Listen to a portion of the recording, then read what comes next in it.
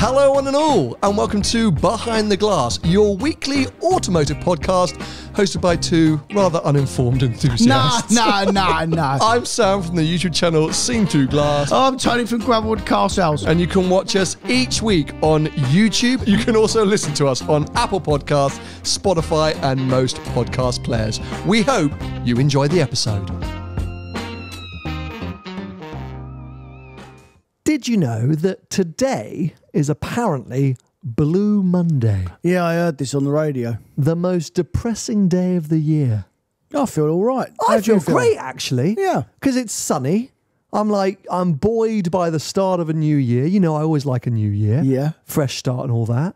We've got some exciting plans ahead. I've been busy all morning booking trips for later in the year. And I'm like, blue who? Spring is coming. I'm like, what's a good colour? Green Monday. Would it be green? I don't know. No. But I never get where that comes from. Why is today Blue Monday? Why is the so supposedly this is the most depressing day of the year? But why? Who decided that? Some kind of marketing Well, I think because all your festive experiences are long behind you, and now it's time to pay for it all. I guess I time to knuckle down. The credit card bills have come in. Don't and- tell me about it. Yeah. They come in for me all the while. Well, whether you're out there feeling a bit blue, we hope to bring you a little bit of green or yeah. something today. Uh, even though it's not Monday, actually, by the time you're listening to this, it's no longer Monday. If you're listening to the audio only, it's obviously uh, live from from Tuesday. Uh, if you're listening to the or you're watching the video, it's obviously live from a Thursday. But we're recording this on a Monday, hence the Blue Monday chat. Uh, anyway, mate, tell me what's been going on. What have you been up to? You told me you've been selling cars, which is very unlike you. Well, I've well, I've always sold cars, mate. I mean, it's just sometimes I don't not sell a- last year. don't sell enough of them. But um, yeah, we've had a busy start to the year. I think everyone has in general. I think it's picked up a bit, but um, I, I'm I'm not sure that's out of tradition. Normally, January is okay for the motor trade because always the last quarter of the year is always quieter anyway. So there's a bit of a pimped up demand, and January, February, March is normally okay. And um, yeah, it started off as I expected. I expected it to be to be busier. Have you had any cars that towards the end of the last year you were just thinking, oh my god, please, someone just buy this thing, please? That's finally gone. Oh, uh, oh, all of them. No, Yeah, but no. you didn't have one outlier specifically that you were like, I need to get rid of that. Uh, I I literally sold one this morning. Um, that um, yeah, was at Okay. a loss. That Are you comfortable saying, or you don't want to say until it's out the door? no, no, no. As in, I've got a deposit on it, but yeah, it's at a loss. And I sold a Range Rover Evoque last week. That was, mm, I think it's probably a four grand loss. That car. Okay. Um, I've got Range Rovers in stock that are at ten grand losses, and I ain't even sold them yet. Yeah. So yeah, th- it's it's the way of the world, mate. Like I said, it, what goes around comes around. We all had a lovely time in between, um, you know, when COVID come back. We all earned a load of money, and now we're giving some back. But hold on a sec. I don't think we can make outlandish statements like this. No. So I got in trouble because I put up on Instagram within the last week. At what point do Romas become cars that we should all just go out and buy? Because they were like, I found an one was going on auction at like 115 grand, and someone was like, it's probably a bit punchy to be like, we should all go and buy Romas because it's still a 100,000 pound car. You can't say No, Oh, we all had a great time when COVID came back. We all made a ton of money. And the motor Because I imagine some people had a crap time around COVID. I, I I I would imagine that some industries were terrible, but they're having a nice time now. So, um, like the aviation industry and the hospitality industry were dead. Fair. You didn't quanti qualify. You didn't say motor industry. You just said we all, as in like people in general had a lovely time when COVID came back. No, as in I'm when I say we, I mean me.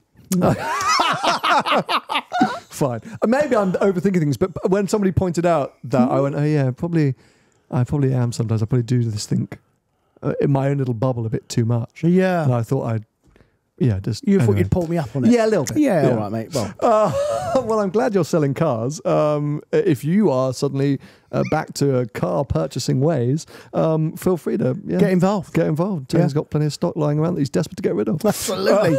um, well, I I popped into central London at the weekend. so did I Uh, actually. But did go on. you? I did, yeah. Oh. A couple of times, but okay. Oh, I suppose we didn't cross paths. Uh, we had my nephew staying, so we took him to the Natural History Museum, which was chaos. Busiest place in the world on a Saturday. Uh, but it meant that I got to do a little bit of casual car spotting. No, Uh, you didn't. I did because obviously we were walking around and I was in central London. It was a Saturday. I haven't been car spotting in London at the weekend for donkey's years. No. So I thought I'd take advantage as we were having a stroll. I was just like in my own world, just looking at bits going by. Uh, 812 Competizione I saw. Wow. Lovely extended wheelbase, dark green Bentley Bentayga. Um, plenty of like Huracans and F8s, a really loud C63. Oh, I think, I think I saw the new C63 estate. I'm not even joking. Well, you wouldn't have heard it. Well, uh, but also it doesn't look that different to the old one. Oh. Do you not think? Have you seen one? Yeah, and and I've not seen one in person, but I've seen photographs of it. I think there's there's much more of an improvement inside, but Maybe yeah, I'd agree. on the No. outside. There's, so I was a bit like, oh, was that? Before I got really excited, I was like, was that it or not? But anyway, long story short, first weekend in January, it was popping off. It- there were cars everywhere, mate. I was getting, I was, I, I got quite excited. After. Did you? Yeah. Did you get your Polaroid thing out? Or you, what's it called? Leica. Leica? Is Yeah. it is? What's that thing you use on the back of your phone sometimes? Oh no, the polarizer. yeah, that's it. Sorry, yeah, the polarizer. No, Did no, because it Yeah. was a family day out. I was just taking advantage of the fact that I was in. Do you not do that sometimes? Like you're supposed to be doing family activities and you just kind of casually look at the cars in and around where you are. No, because I hate cars. no, not That was a really. No, no, I mean I do. I always look at cars. Yeah. all, all the while. Because if you're off to Nando's with the family for lunch, when you're walking through the car park, Nando's, you joking? well, sorry, McDonald's, are you not walking through the car park going, oh, look at that RS4 and oh, look at that, it's a cheeky. Oh, you've jogged my brain. You know what I saw the other day that actually I thought was really cool? I always get this mixed up. I think it was the think it was the B7 RS4, the V8 one, not Yeah. the turbocharged Yeah. one, like a 2013, 2014 car. I love those cars. Me too, because I used to sell them when they were they were newish, right? And they do have real inherent problems now. But one come cruising past me on Saturday actually, and I thought that's a cool little wagon now. And that's unlike me to say something like that about a ten year old car. So what what inherent problems are you are you what what what goes wrong with those cars? Catastrophic suspension issues. Because it's Magna ride, magnetic Correct. ride, Correct. and that was too early for it. That was an early iteration, or that was just a, it was just a disaster. from my point of view, that suspension wasn't right from the factory because we had new ones or nearly new ones, and they used to bang and crash and you used to take them back in and they'd say no so that's the characteristics of the car so yeah so this can't be right so like you're no- leaking shocks Yeah. on your GT3. yeah. and and at the time the last one we had was probably mm uh, was it before covid probably bef- yeah mm, or around that time two or three years ago last time we had one in stock and uh, suspension had all gone right round the car Oh. four of them and at the time it was only audi that could do it because of uh, they had the machine to refill the Oh, because Hydraulic. it's magnetic, right? It's Yeah. literally in the what in the shocks or in the dampers. There's little ma- like because it's little it's mag- magnets well, basically yeah, little yeah. me- metal fillings, isn't it? And then Yeah. the magnets just firm them up or yeah. loosen them off. I and it was a it was a fortune. Mm, seven grand comes to mind. wow. Yeah, just just for the suspension. What could you do about that? Could you just bolt on some? Don't buy it. No, but there was no other fix. You couldn't like bolt on aftermarket. Well, you, like, well, you could if you know. I'd get, but no. Wow. I mean, no. You had to fit. You've got to fix it, didn't you? anything else go wrong on those cars? Uh, uh, diff, rear, um, diff problems. Gearbox now probably as well. Oh god, Yeah, that's so cool. but what a car! Yeah, and and great value in the RS4 world because those Gen One RS4s are now really creeping up in the collector market. So the values of those pretty insane. The new shape and the prior shape are still. 40 or 50 grand those v8 ones sit really nicely at the sort of 20 25 grand mark Are, are they 20, 25 yeah grand? yeah yeah With some mileage on though, right? i'm sure i'm sure like a really nice version is closer to 30 but they're Yeah. they're a cheaper rs4 It's amazing that car because when you think it was just about over 60 grand that car was Hmm. new. And it's still 30 grand now. i think Ah, don't it? we spoke about it a little bit last week. I think Audi RS models, actually, if you look at it, and I did the other day, God, they hold their money quite terrifyingly well. Even RS3s, mate. Who so, said that to you once? No, no. Oh, don't. Here we go again. I told you so. I literally just said, Tony, we mentioned it last week. I literally just said, Did you? we mentioned it I didn't get that last bit. week. Okay, fine. Okay, fine. Um, so do you remember one of our live events was last year? A guy came in a green previous gen RS3, or maybe it was two gens before mm. RS3. And I just suddenly start thinking like, oh, I'll see if I, oh, I'll see if I can find a green RS3. What what age would that have been? 2012? Yeah, yeah. Because, yeah, the. Oh, this is where I get confused. So the latest car came out like last year or two years ago. Correct. Then the gen before that must have been about 2018, 2017, 2018. Which was basically a facelift. Yeah. And then before that must have been 2013, 2012. 2012. So, so I think it was the 2012 car. Right. yeah. No, no, no. You're probably right. Do you want me to tell you how much they were? No. How much were they new? Because I remember buying one for myself Go on. with a bit of discount, probably, but it was thirty-eight thousand pound. No And I bet way. I bet they're still twenty grand now, are they? I- think more. Let me No, just, they can't honestly, be. mate. So hold on a sec. Audi, because I was looking, I, and I couldn't believe it. And then we, then I got into the RS4s. I was like, this is insane, mate. Even RS5s, which let's face it, not a lot of people have ever wanted. No. Like done well. Okay, so what what year we're going for? We're going to say 2012. We're going to say 2012 To twenty thirteen. for the max year. Oh, that's the first gen. Yeah. So they're saying I think 2015 must have been the second gen. Yeah. And then Okay, and so then they facelifted them. Okay, so the let's see what the lowest is. Lowest RS3 on the market with 120,000 miles is 13 grand. Yeah, but is that a uh, is that a cat N or a cat? I don't know. It's a piece, it's a piece of crap. Right, but okay. here we go. How dare you? Uh, Someone's car there. a, t- a two owner 2012 car with 57,000 miles. Guess the price. How much? Guess the price. 57,000 miles, two owners, 2012. Come on, you're a motor dealer. Twenty grand. bang on the money, mate.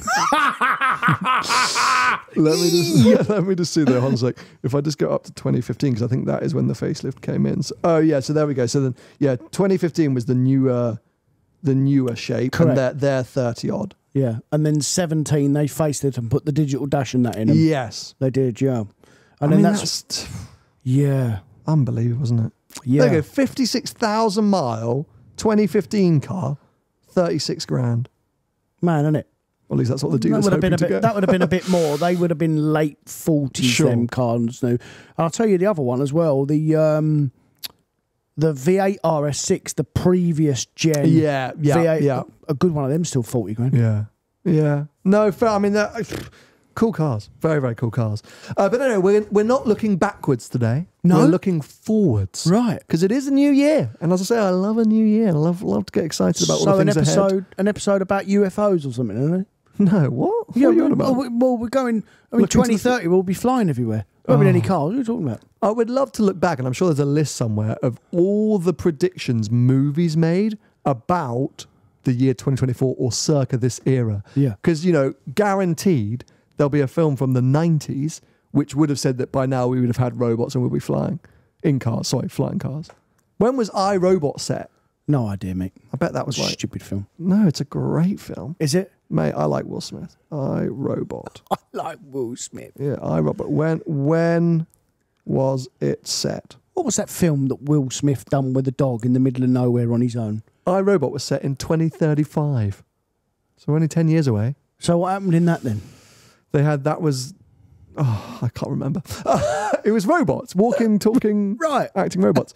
But you asked about the one with the dog. Yeah. Only film I've ever cried at in the cinema. Very good film. I Am Legend. I Am Legend. Very, very good film. Let's not do any spoilers. No. Um, Did you like that film? as I say, it's the only film I've ever cried at in the cinema. Right.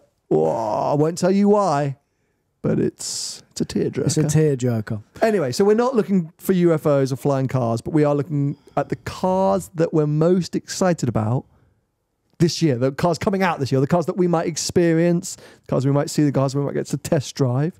Um, we might even test drive here on this very podcast. I can tell you a film that I cried about, Oh, by God. the way, before we carry on. It's a very, very Where's sad film. Bearing in mind that going? I'm a man of the people and Oh, hard nosed and the Green Mile, mate. Oh yeah! Cried my eyes out. Oh wow, that is a great film. Great of film. throwback, yeah. I don't tend to tear jerk. Oh no. Here we go. Well, this one Clyde over Lassie. this one got me when it came out, but it's it's now. I actually don't think I could ever watch the film again. About time. Never seen it. Oh mate, of it's it's a film for those that I don't know how to put this. Uh, it's all about a relationship with a father and a son. Fair. So maybe, Fair. I understand. yeah. But but the, there was another. What was that? What was that film that Bradley Cooper done and Lady Gaga? oh yeah, um, Star is Born. Oh mate, that, ne- that nearly made. I had like frog in my throat. at the end when he when Yeah, no spoilers. No spoilers. Like that really done me. That was the most recent Yeah. film that I watched that done me. Good but I'm normally quite very good actors. Yeah, Mm. I'm normally quite hard faced. I don't really cry about anything. But yeah, there are two films that really got me. What's your favorite car film? Oh, I mean, there's been loads down the years. Gone in 60 seconds would have been in the day. Yeah. Good film. Uh, almost for me, that's still because I think it's our generation, right? I think so. Speak yeah. to old people. There was like Bullitt. yeah, but- yeah. Bullitt.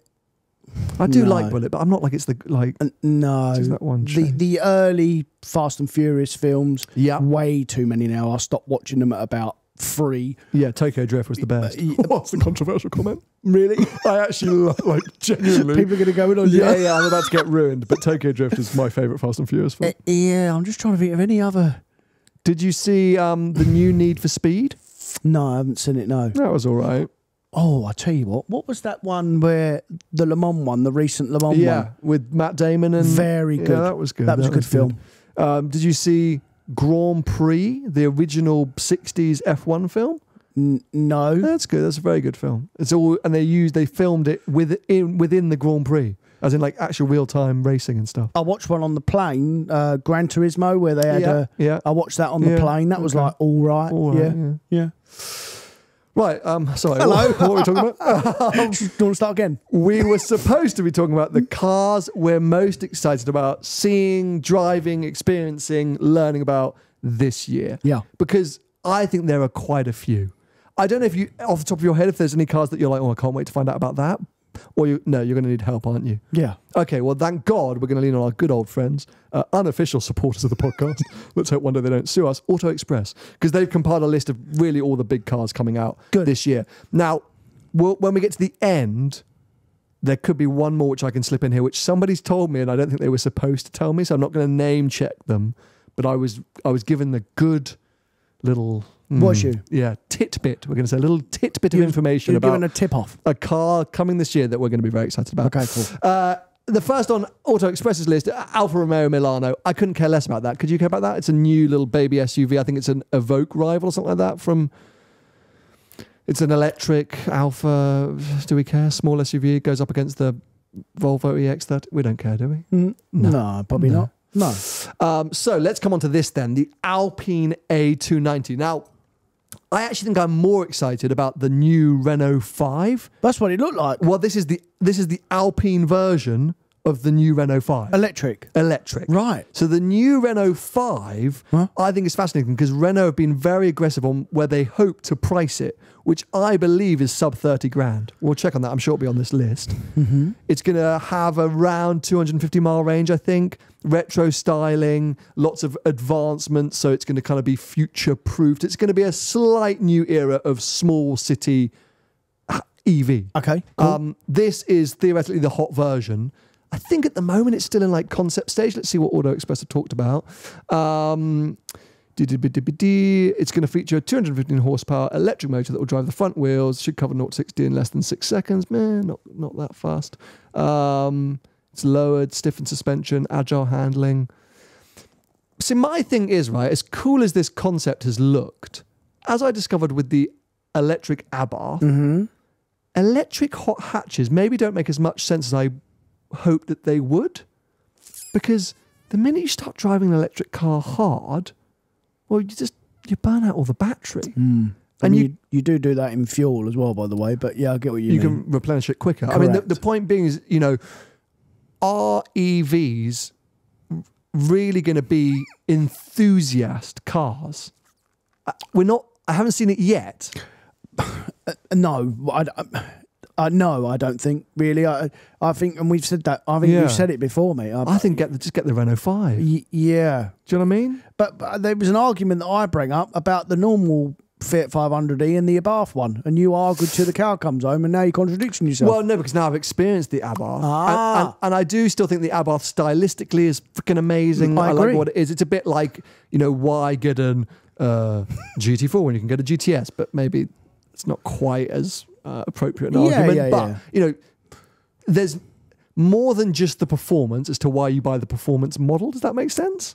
in a combustion or I a- think in an E general, in general. Mm. I mean, that is Larry. That that Alpine, whatever they call it, Looks they amazing. stupid name. The sort of I mean, if that had a if that had a combustion engine, yeah, Alpha, if that had a combustion engine, I'd be jumping all over that car. It's quite big. Yeah. It's a bit like the um, Ioniq Five. It's quite big, Oh, oh, really? bigger than you think. Oh, It's not. It's not big, big, but it, it is quite big. But the Ioniq Yeah. 5's huge. it looks cool. Yeah. It does look cool, but I'm just a bit like, do you need all the lowered and stiffened suspension and blah blah blah, and likely lower range when I think the Renault Five looks amazing? Nike bringing out a car now. Okay, well, let's see. Keep an eye on that. now, this bad boy I am very excited about. I'm actually excited about Aston Martin's year ahead in general. So, the Valhalla, we're expecting to see production Valhalla this year. Do you remember, when was it? Geneva, I'm going to say like 2010, when Aston Martin had Valkyrie, Valhalla, and Vanquish as the three mid engine supercars. Yeah, yeah. Uh, is, it, is he Dr. Palmer? It was Andy Palmer's final year, I think. He was there doing the speeches all the Yeah, while. yeah. Or towards Yeah. the end of his, his the, before the whole Stroll takeover, and they had the Yeah. three cars all in concept stage, and Yeah. Mm-hmm. like, this is the new vision for Aston Martin. So we've had Valkyrie for a while now, but Valhalla is finally coming to fruition, Which is the baby one. which is the baby one. So I mean, we say baby one, it's still going to be seven hundred odd grand, hypercar level. I think it's now got the the Merc AMG engine.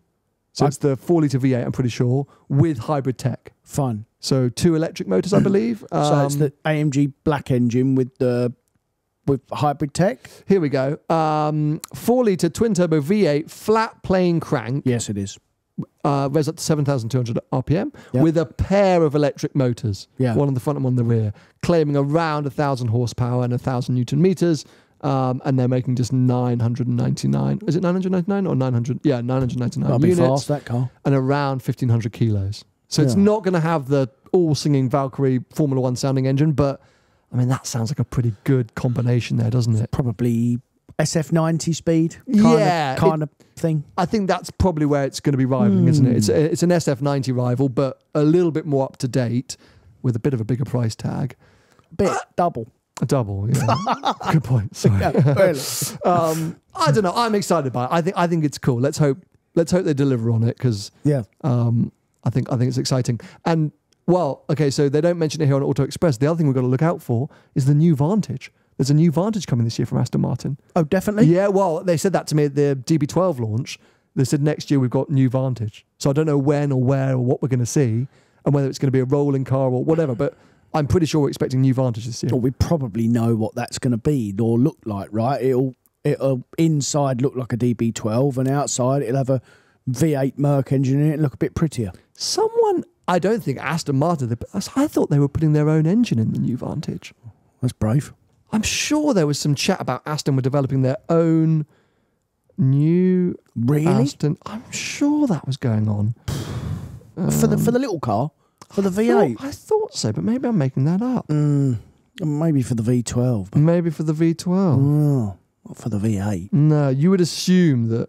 Makes I sense to where put I thought that. Oh no! I'm okay. Well, I think I maybe that was a dream. Maybe I got drunk. Uh, I'm surprised you didn't message me and say you want a new Vantage. yeah, I, I will. you will. I will. I've always loved the Vantage. I Yeah. will. I will want that Good car value comes they out. are, by the way. The current shape. The V8 Vantage, yeah. How much are they going I for? bet you get. I bet you get like a 2019 car. I bet they're 70 grand now. Really? Yeah, yeah, it's a used car. Good car. Everyone, everyone said they got bored of them. Well, yeah, Everyone I know was like six months down the line. I was like, this because it works. feels like a C63. Well, well, yeah, but you, it's a bit of a trade-off, isn't it? Do you want a car that works or do you want a car that breaks? Mm.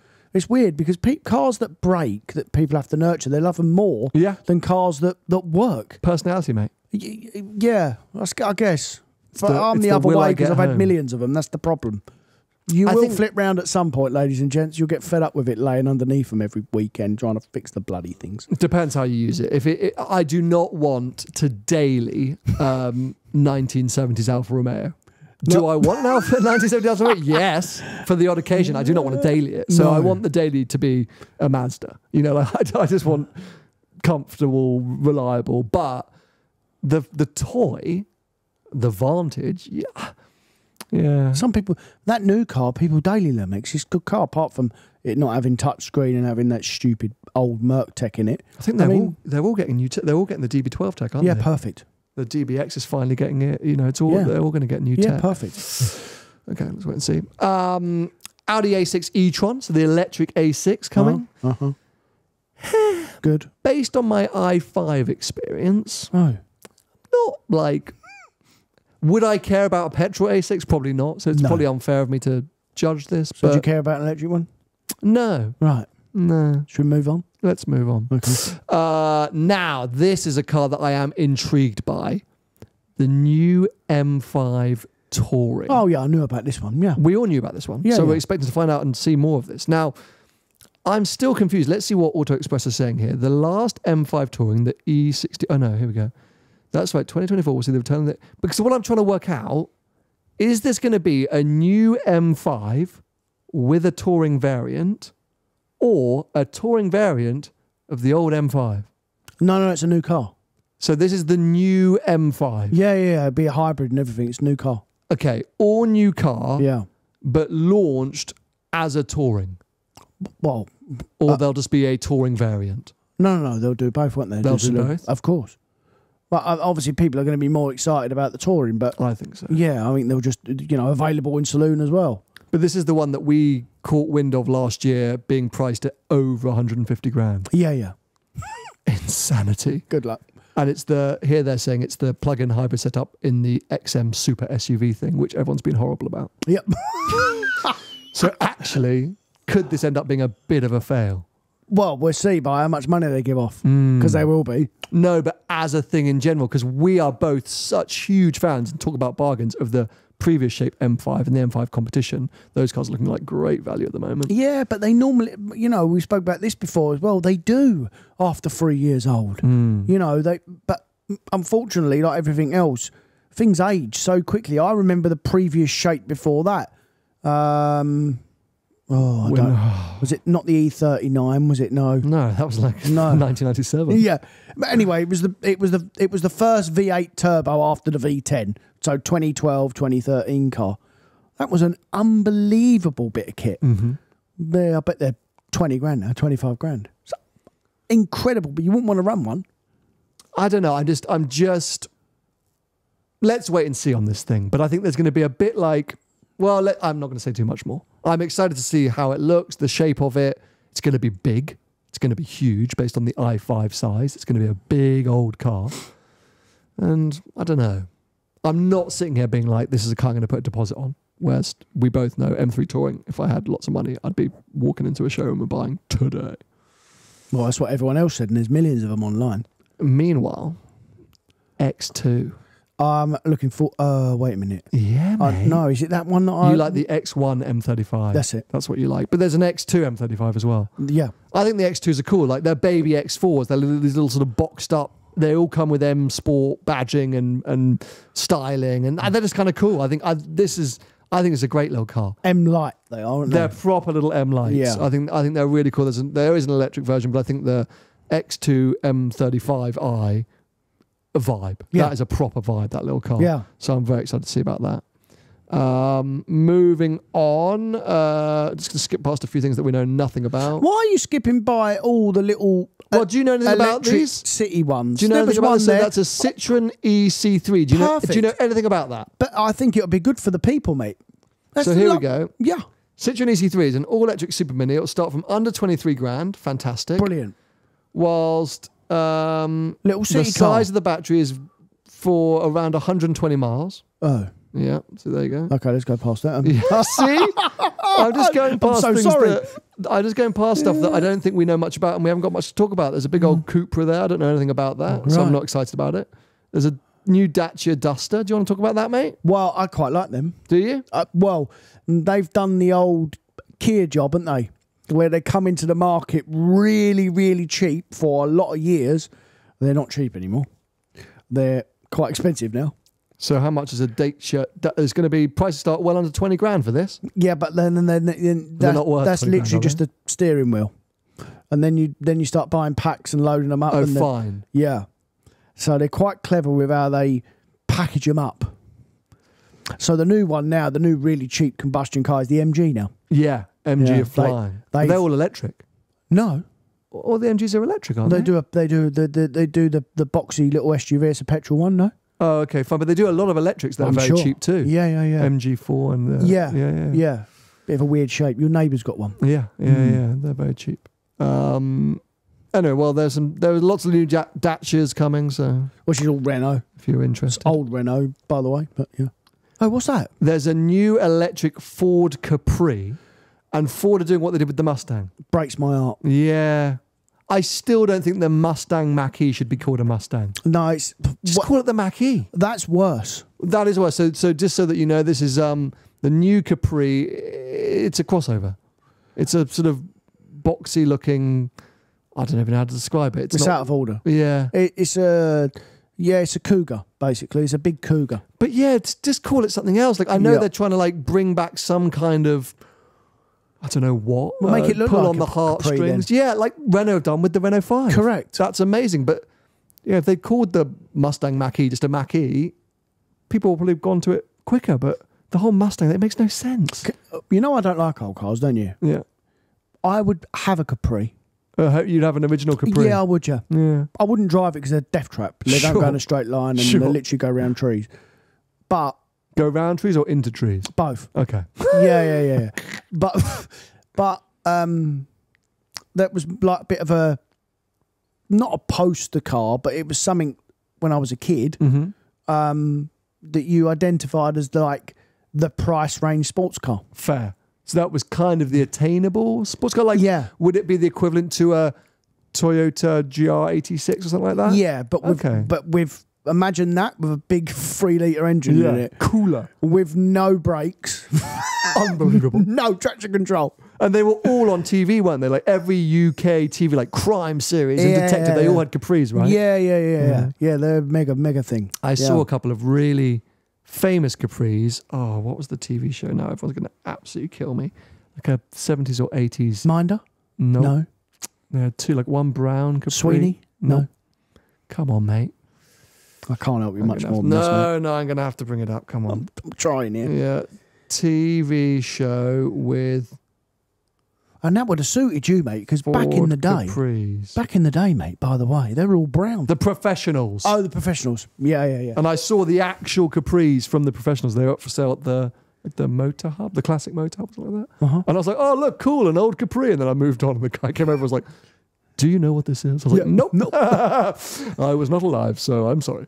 Um, but I, I get that. They're cool looking things. They're Yeah, very yeah. cool looking things. So, yeah, we're going to give a big thumbs down to this Ford Capri EV piece of poo. Yep. Um, and move on again past a few things that I don't know. Oh, yeah, the new Mustang. Because there is the new Mustang, the dark, the dark horse, which I saw at Le Mans last year, which has got that um, pump, pumping. Uh, got an engine in it. Yeah, yeah, yeah. Proper. Oh, it's a proper V8 Mustang. They're, not messing around with the actual Mustang. Okay, fine, good. What's his name? Vaughn Gittin Jr. has helped develop their new drift system. So remember in the Focus RS, what was it called in that? Drift mode or drift? Uh, no. Drift mode, yeah. Was it called drift Yeah, mode? yeah, yeah. It's now activated through literally like a almost like a fly off handbrake. It's What, insane. hydraulic? Yeah, but it's not. But it, Oh, it- crash. it- yeah, it's ridiculous. I was like, how has that gone through like insurance Regulations. or regulations Yeah. or it's unbelievable. And I think it looks the bomb. I think they've got the Oh, styling want bang one. on. We saw this at the LA Auto Show, don't you remember? We did, yeah. I think they're really good looking. I love the Mustang, and you see them in the UK now a lot more, and they're just cool things. You know that in terms of getting into a car that says a lot about you, gives you a lot of experience. Maybe not a lot of dynamic performance, but at least a lot of sound. A lot like that's a great thing for somebody. Hmm. At thirty-five ish grand is the V8 been in the UK? Was that the EcoBoost? Bit, bit more, yeah. The V- Okay. but uh, if you're going new prices, they're probably 40, 45, 50 ish Okay, for but- an, a newish car. But still, I think it's always been a good alternative for the man on the street to get into something which, you know, as I say, people go, oh, look, that's a cool car. Well, when you look at the German equivalent, it's nearly half the money. For sure. Yeah. So, um, yeah, I'm a big fan of that. And I, I'm, I'm excited for that dark horse. I think Shmee's getting one. I, I, I'm going to reach out to some Ford representatives and see if we can have a go in that. Because I think, Okay. I think that'll be a really cool car. Really cool car. Now, so how could Ford get so much of this wrong and then some of it right? Hmm. So we're moving on to the Puma EV. Mm-hmm. Now that looks like a Puma, right? Y- Well, yeah. That is an electric Ford Puma. Correct. So why did they do that Capri piece of crap? Well, I don't. I don't know, mate. We I don't it off. Yeah. Well, I mean, we've gone in on it. We've gone in on it. Yeah, here we go. The Puma EV won't be a bespoke electric car like the Capri. There we go. That's why. So that's why it's not got its whole new styling because it will still have ICE engines. Right. And hybrids. But it just looks like a Puma. yeah, mate. Yeah. Oh, fuming. um. Ah. Okay. Let's get into this a little bit. Oh. Hyundai, Hyundai, God knows how you pronounce it. They keep telling us different things.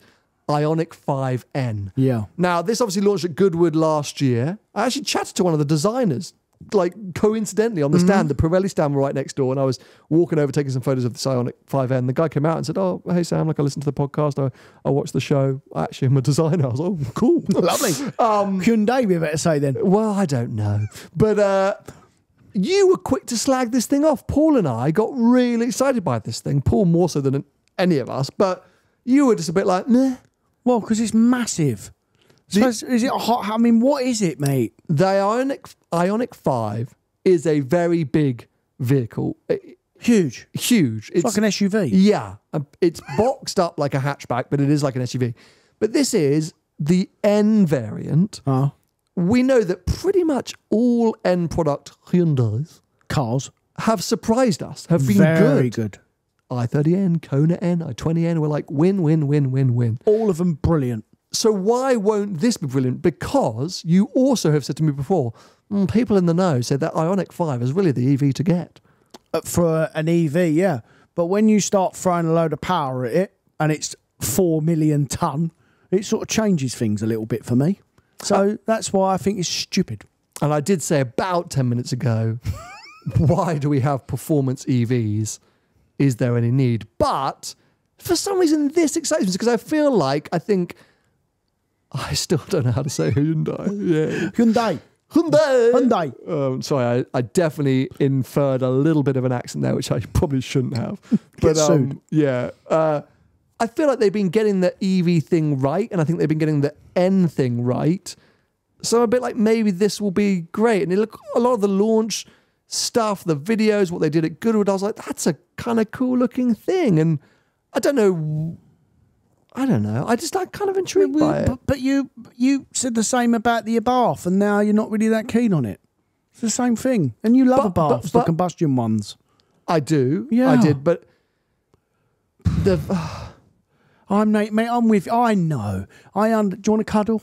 No, No, no, no. Oh, all right. I. I haven't lost my identity that much. I'm just, I am intrigued by this thing. Right. I understand that probably I'm going to get in it and go, is it really necessary? Eh, just get an Ioniq 5. But I still want to have some hope for the future, mate. I want to have cars to be excited about. I don't want to go through this whole list and get to the end and be like, oh, well, all the cars are a bit crap. Let's move on. nice? Because we haven't been that excited about much yet, apart from the Valhalla. But So- are we though, in general, ever really that excited about I stuff? am. Are you? Speak for yourself. Yeah. Until I, I genuinely get. I mean, hey, oh. I'm sticking with my guts. All right, mate. I'm excited by this. Okay. I'm Ioniq 5N. Watch this space, people. Right. Look at this. Look, the N engineers have, haven't focused all their time on winning drag strip bragging rights.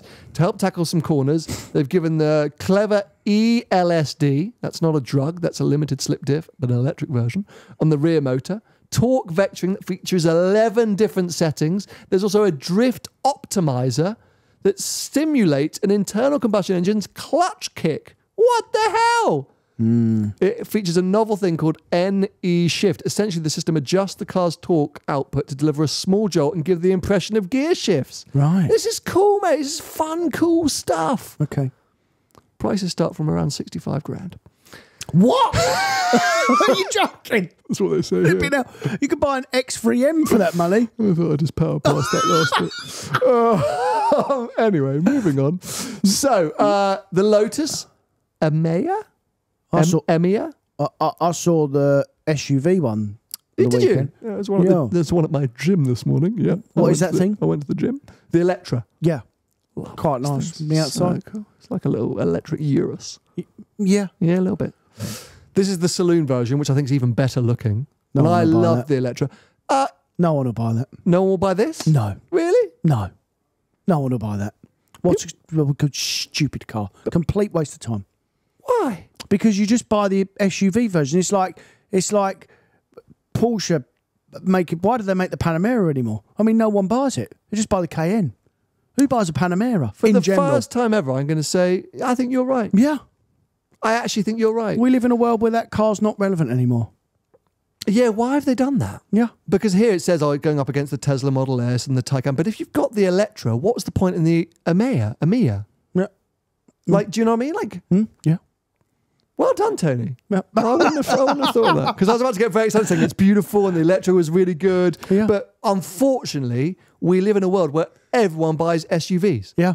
And- we, and we forget that sometimes, by the way. It's still, it's probably growing now, but it's plus 50% of cars sold In this country. in this country are SUVs. Plus 50%. So more than half. And I know lots of us, especially us enthusiasts, aren't keen on that. And we're like, you know, don't buy SUVs, go and get a saloon or a wagon.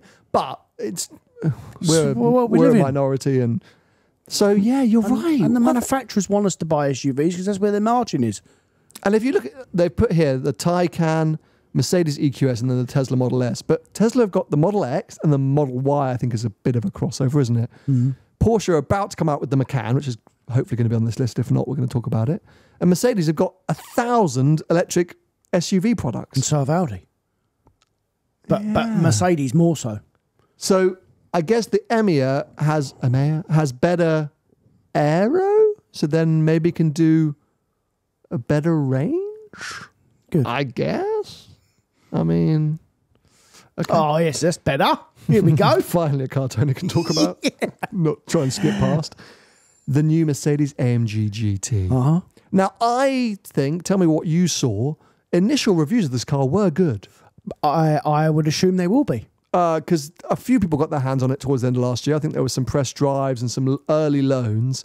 And whilst, and you know, when the car launched, people were like, "What? It's gone four wheel drive and it's so heavy and that was so bad." And then people drove it and went, "Oh, it's actually pretty good." I think it looks great. Yeah. I know they've elongated it stuff, but every time I see a photo, I'm like, "Yep, looks the bomb." I am really keen to have a go on one of these. The problem with that car, Oh no, the problem is, uh, his weight will be a problem, and it's more than the 911, mm, it's an Which it- expensive car. Huh? which it rivals. Yeah, it's it's going after 911 Turbo, isn't it? It's a problem. Well, like any of these brands, when they try and steal customers away from the 911, you've got a lot to go up against. But it's a Mercedes. If you want an alternative, You want an alternative. Yeah. And so this is a Turbo or Turbo S rival. This is not a 911 Carrera S rival. And this is supposed to be seen as a premium luxury product, is a Merc. Mm. and it's I'd- very lovely inside, very fancy. Yeah.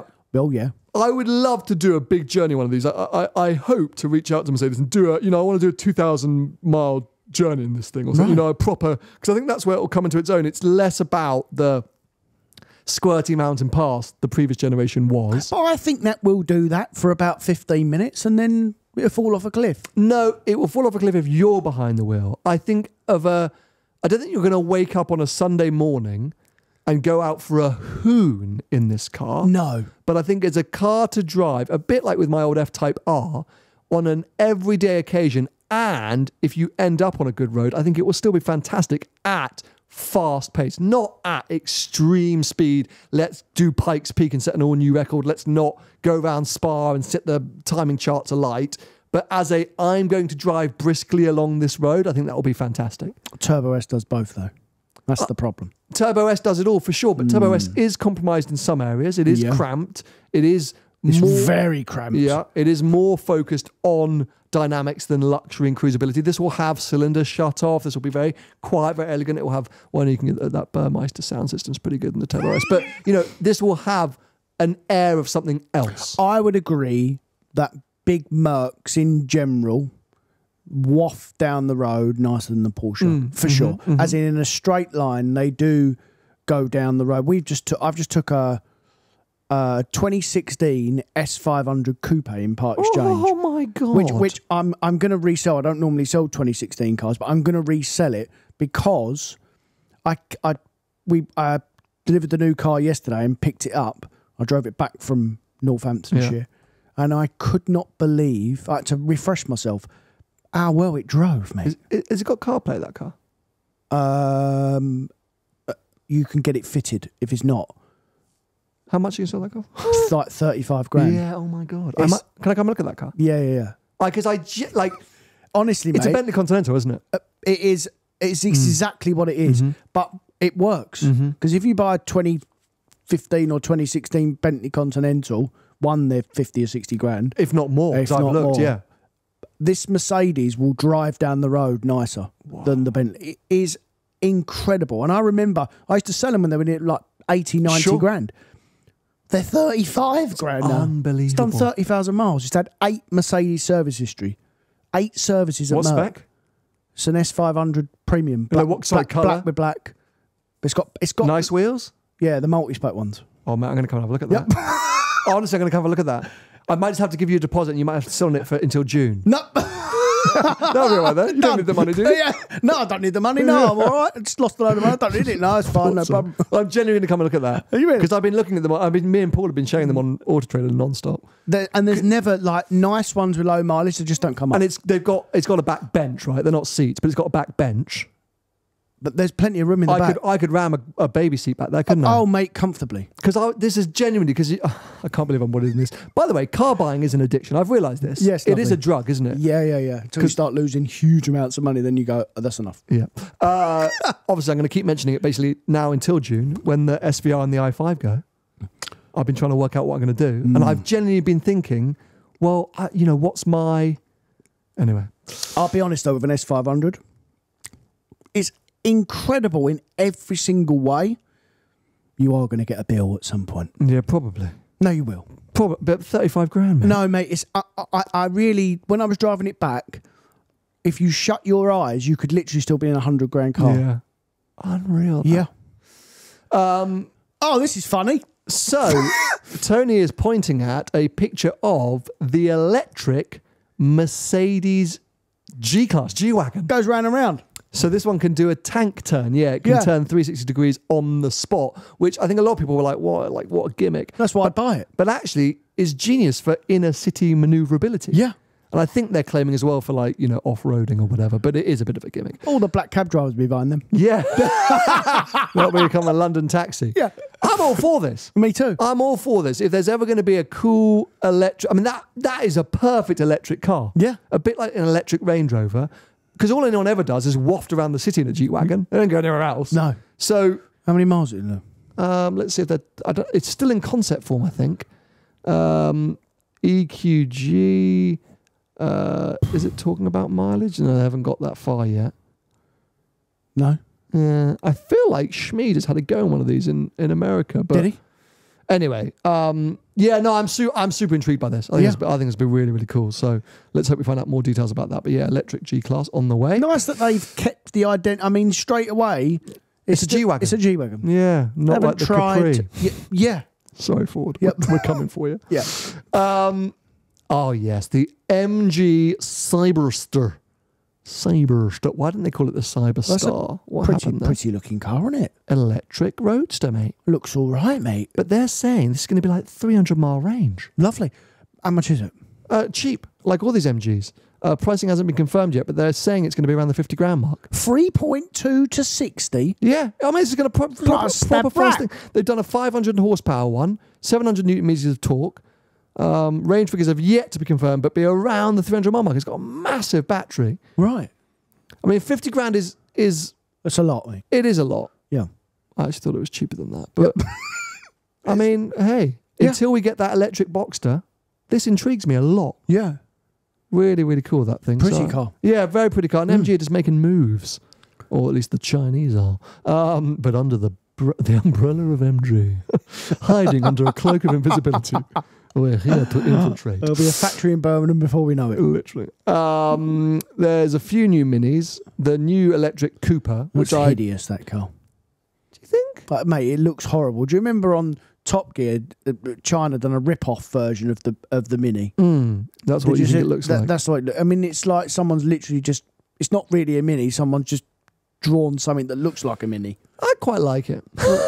Of course, I quite do. like it, and it's got some sort of slightly gimmicky fun touches, which all of these EVs are starting to have. They've got to. Uh, yeah, I saw it at the BMW showcase last year. I, yeah, I think it's cool. Okay. I think it's cool. I, I like that. Um, uh, it's again, it's a small city car, so 190 mile range. Mm. Oh. Yeah.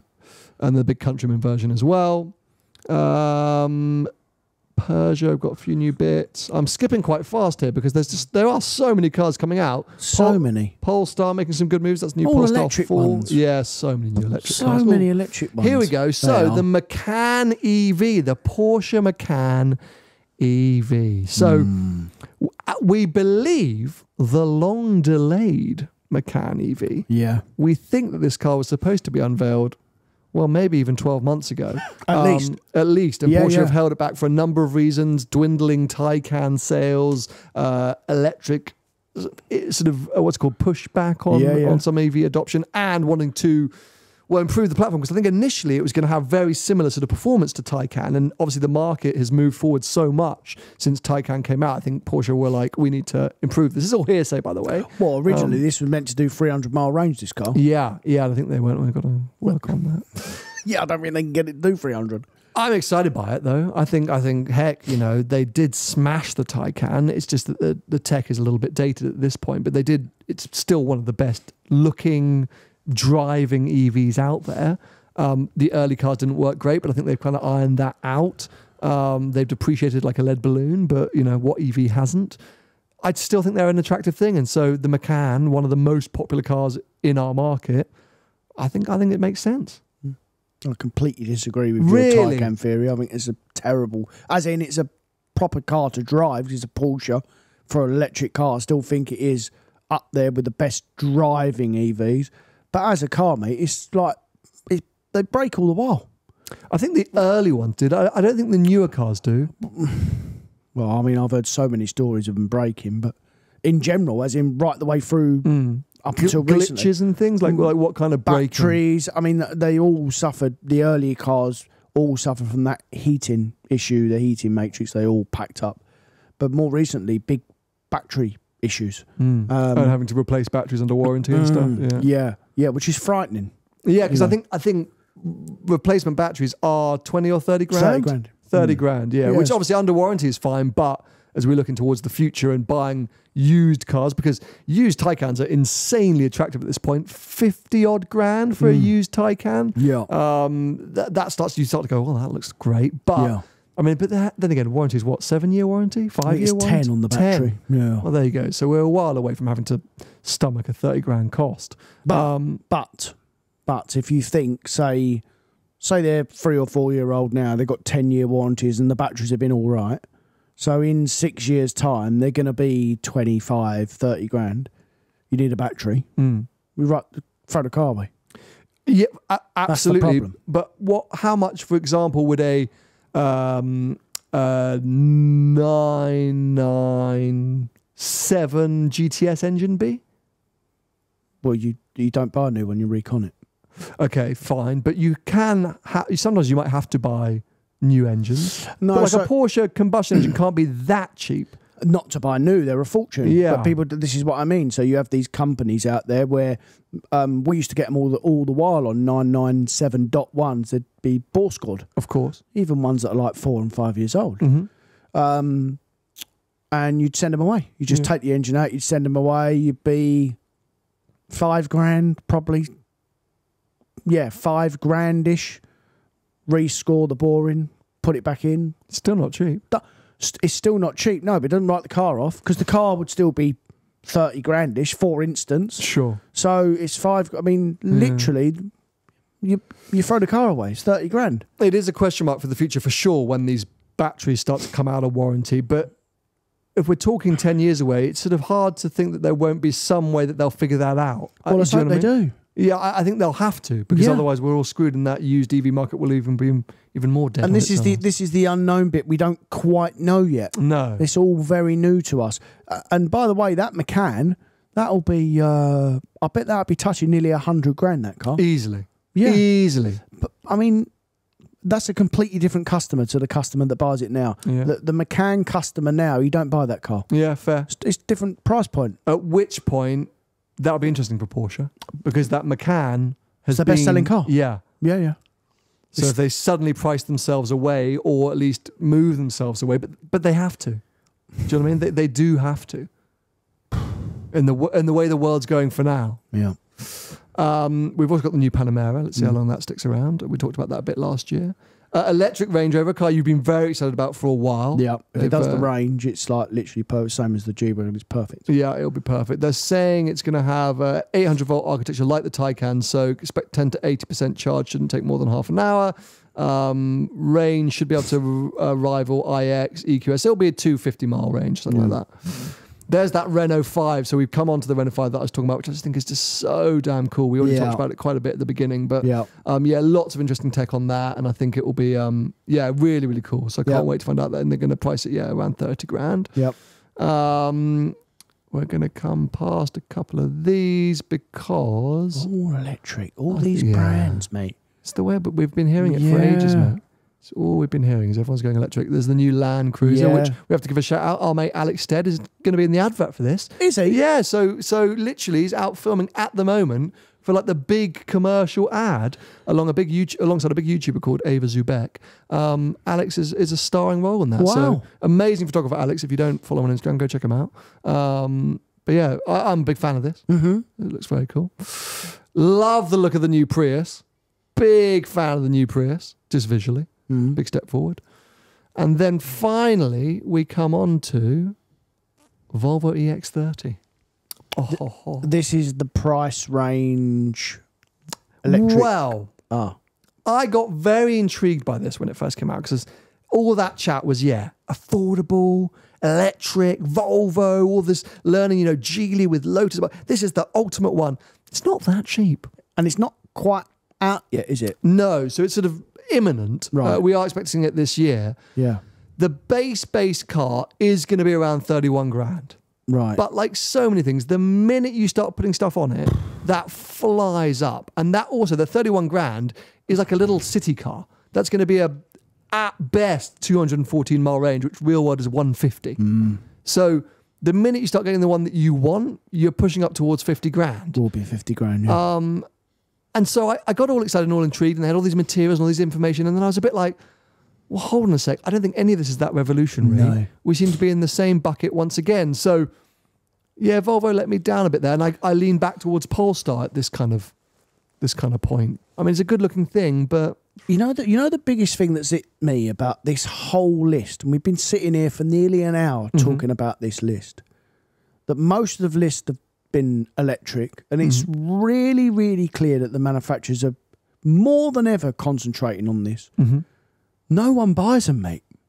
well, well, okay. No, they don't, mate. They literally don't. Mm. No one buys electric car. Who are they going to sell these cars to? Mm. Who's buying them?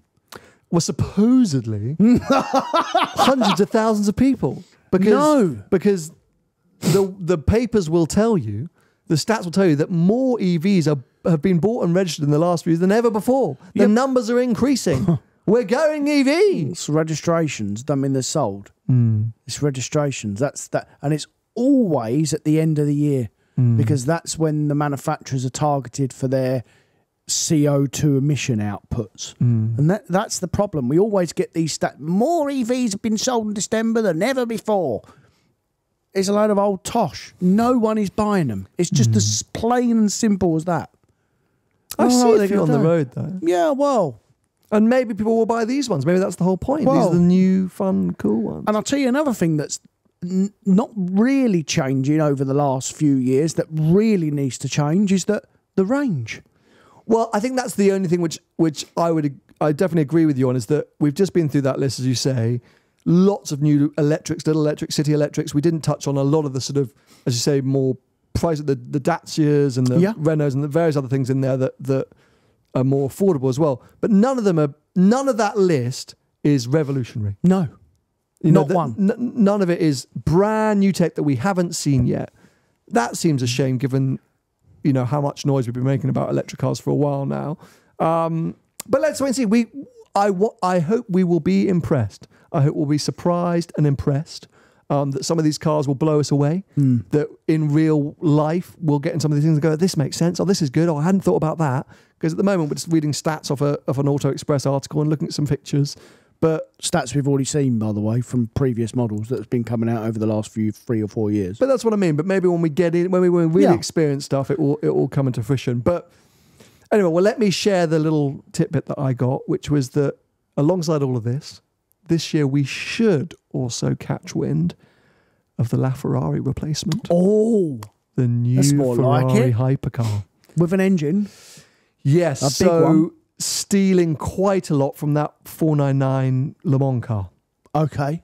So I don't really know much more, um, but I believe the customers, invited customers, uh, will be getting first previews probably at the World Finals, the Finale Mondiale uh, event that happens usually around October, November. Fine. Um, that that's what I believe. and will make sense because we're 10 years on. Yeah. So then Yeah. we will probably have a debut early 2025, I think. But let's see. You never know. They could surprise us. We might not hear anything about it at all. But um, I was told by someone in the know that that was happening. So um, well, it would make complete sense for it to yeah, happen. yeah. So that could be very exciting. Um, we might learn more about Porsche's Mission X. Who knows? Not sure we're going to see a McLaren hypercar this year, but could surprise us. Yeah. Um, so plenty, plenty to still go on. We haven't even talked about the fact that the Revuelto is going to be landing this year. Hopefully, we'll get an experience in and around that, Yeah, yeah. Which is exciting. And a few other cars, 750S from McLaren. There's some very positive reviews of that. Um, so some other cars which launched or got unveiled last year that we should see and feel on the road this year. Yeah. Um, and I know of a number of events happening in the next few months that will mean that we can get to check some stuff out. So let us know in the comment section below if there's a few other things that, that you've caught wind of or you've seen articles about. Um, shout out, thanks again to Auto Express for, for their article and for us using that to kind of pinpoint some cars that we want to chat about. Um, but that, that draws an end to this week's episode. Uh, Flown by. Flown by. Yeah. Uh, so yes, uh, as ever, uh, if you want to um, to check out our episodes, subscribe now to this YouTube channel. You can listen to these episodes a little bit earlier um, uh, in the week on Spotify, Apple Podcasts, etc. You can follow Tony. He's at Tony Gravel Car Sales on most social media platforms. I'm at Seen Through Glass. No stock watch this week because well, we were watching. The stock of the future. Uh, but we'll be back with you next week for another episode with some of our usual formats and features. Uh, so stay safe, stay healthy, and we will see you next week. Bye bye. See ya.